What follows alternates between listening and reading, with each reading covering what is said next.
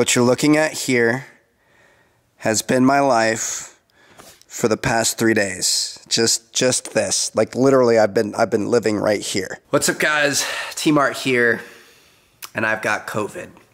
Yes, so I wanted to, to update you guys, put a little update video up. Uh, I know the channel has not been popping off. I know we've been missing some videos.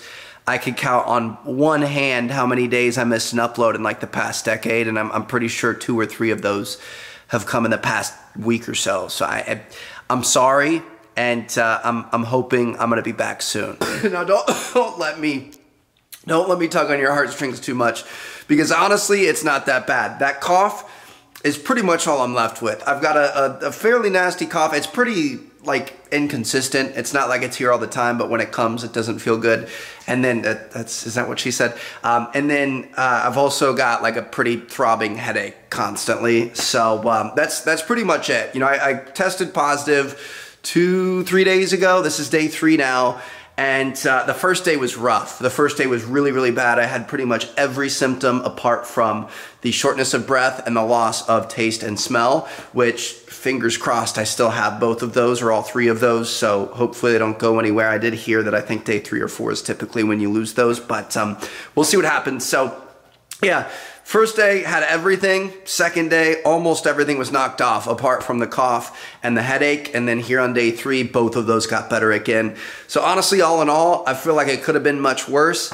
Um, hopefully we keep trending in the right direction. I have had some nice helpers to keep me company. I don't want to get too close to her because I have heard that there's like some form of COVID that cats can catch. I don't think it's as serious, but I don't want to get her sick. But we've all just been holding down the fort. So um, Chelsea didn't get it. I, I was I was so happy she didn't get it. She tested negative the first day, and then when she did that, I'd sent her out to like an official test, like get with the doctor or whatever. Tested negative there, and then she tested negative again the next day. And uh, this week we were supposed to be going to Texas with her family for like a family vacation type thing. And I was like, all right, you go. I'm not going to get you sick. We both won't miss it. At least one of us will be there. Like you go, you go have a good time. So I've been holding down the fort. And like I said, this, this has literally been all I've been doing. Now I can't lie to you it's actually been kind of nice. Like, I, I, mean, you know, being able to just sit and play video games for fun, watch live streams, kind of veg out a little bit. I usually don't have time to do that because I'm recording so much. But I absolutely miss recording for you guys and I, I know I've been dropping the ball. I know a lot of you guys have been asking for more Guardians, have been asking for more Riders Republic, for more of anything and I, I mean it, obviously I, I just I can't I can't record right now. We're close. I recorded a little bit today. It felt okay, not great, but I, I think we're close. I think starting tomorrow I might start being able to ramp it back up. Now, this comes with an issue though, because November is absolutely stacked. We've got COD Vanguard, we've got Forza Horizon 5, which actually comes out on November 5th if you have the special edition. We've got the GTA Trilogy. Ooh, I didn't even know there was a Flight Sim DLC coming out. We've got Battlefield 2042. Like, we, we've got a ridiculous number of games, and then Halo comes right after in early December. COD and Forza are literally just a couple days away, and my main focus is just getting healthy enough to be able to record those.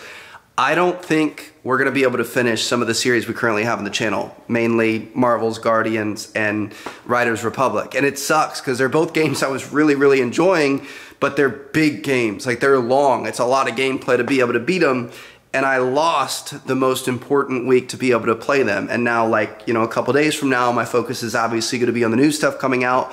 And then we've got the GTA trilogy coming out, which has three games on the same day. And that just, it, it stresses me out to no end. So, like, I, I, man, I, have just been a shit YouTuber. I, have been a really bad YouTuber the past couple weeks. It sucks too because we were already slowing down due to this. We've had some major work being done on the house, and so like it's been loud, hammering, sawing, whatever else all day. It echoes through the whole house, and I was already not being able to record as much as I would like leading up to getting COVID. It, it, it, dude, it's just been like the trifecta, Bermuda Triangle of, of crappy situations to be a YouTuber. But it's ultimately it's my fault. I can't blame it on anything else. So I just wanted to come on here, let you guys know I'm alive. I'm still here.